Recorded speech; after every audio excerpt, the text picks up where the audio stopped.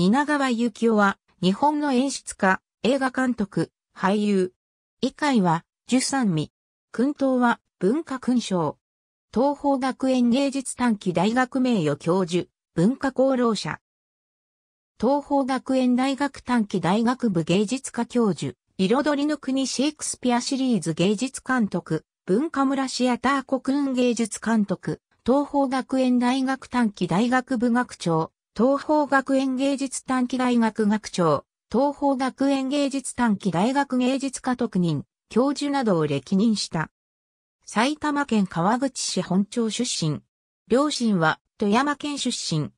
成果は洋服店で、父親は川口オートレース場のオーナーだったこともある。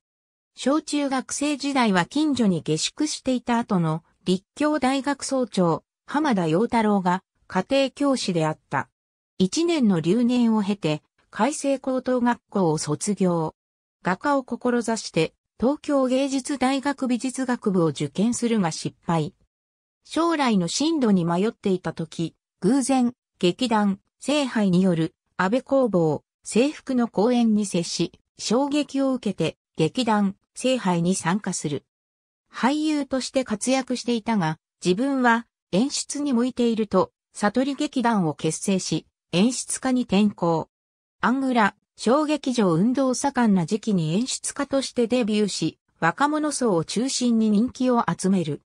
1970年代半ばから商業演劇に活動の場を移し、大劇場でのダイナミックな演出で話題作を次々と発表していった。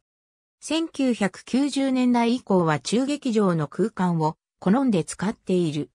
蜷川の演出作品は、清水国夫、東十郎、井上久志、野田秀樹、岩松良などの現代劇からギリシャ悲劇やシェイクスピア、チェーホフなど海外の古典、近代劇に至るまで多岐にわたる。鮮烈なビジュアルイメージで観客を劇世界に引き込むことを得意とする現代日本を代表する演出家の一人として海外でも評価が高く、世界の蜷川、蜷川先生とも呼ばれる。起用する出演者はトップスターや実力派俳優から人気アイドルまでと幅広く意表をついたキャスティングで話題を呼んでいる。蜷川は愛煙家で短気な気質でもあり苛烈な演技指導の厳しさでも知られ、口よりも手よりも先に物が飛んでくると言われるほどであった。一方で、躁うつ病を患っていた俳優には穏やかな表情で見守るなど、人情的で心優しく、他人に対しても同様に自分に対しても厳しい姿勢で仕事に取り組んでいたため、数多くの俳優やスタッフから慕われた。彼の指導を受けたことで役者としての実力をつけた俳優やタレントは数多い。一人でも手を抜いたら舞台は壊れる。全体に気を配っているぞという意思表示だよと生前語っていた。現代演劇のフィールド外でも小沢誠二の指揮による歌劇、さまよえるオランダ人、宇崎流動作曲によるミュージカル、魔女の宅急便、尾上菊之助の依頼を受け、菊五郎劇団と組んだ歌舞伎、蜷川十二夜などを演出、他にも映画、テレビドラマ、コンサート、ファッションショーなど、様々な媒体や舞台での演出を手掛けている。エッセイ集も出しているが、蜷川自身は文章を書くことは楽しくはないが、断れずにやっている、という。私の履歴書によると、俳優時代の蜷川は、劇団、聖杯の木村勲や岡田英二などに可愛がられたという。そして、演出家として、頭角を表しつつあったある日、出演していた時代劇、水戸黄門を見た太一木和子から俳優としての演技にダメ出しされたことをきっかけに演出家一本に絞ることにしたという。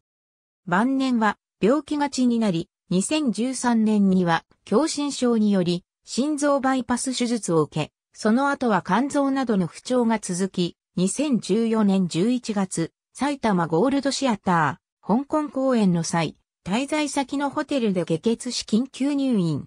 チャーター機で帰国する事態となっている。長年の喫煙習慣による肺疾患もあり、帰国後は車椅子と酸素吸入器を手放せなくなった。2015年12月半ば、軽い肺炎で入院となり、リハビリに励んでいたが、復帰は叶わなかった。2016年5月12日午後1時25分、肺炎による多臓器不全のため都内の病院で80歳で永眠。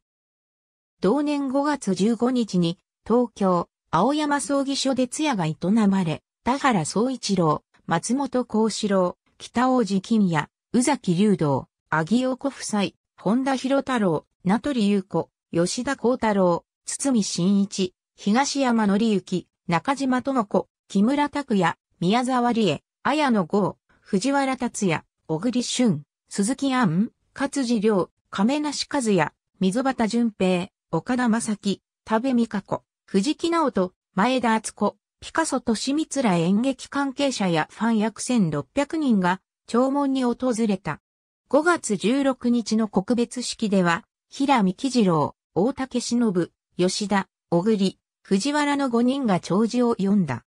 渡辺健、二宮和也、松本潤、生田東馬、松坂通りらも参列した。出刊時は、リベラのサンクトゥスが流れた。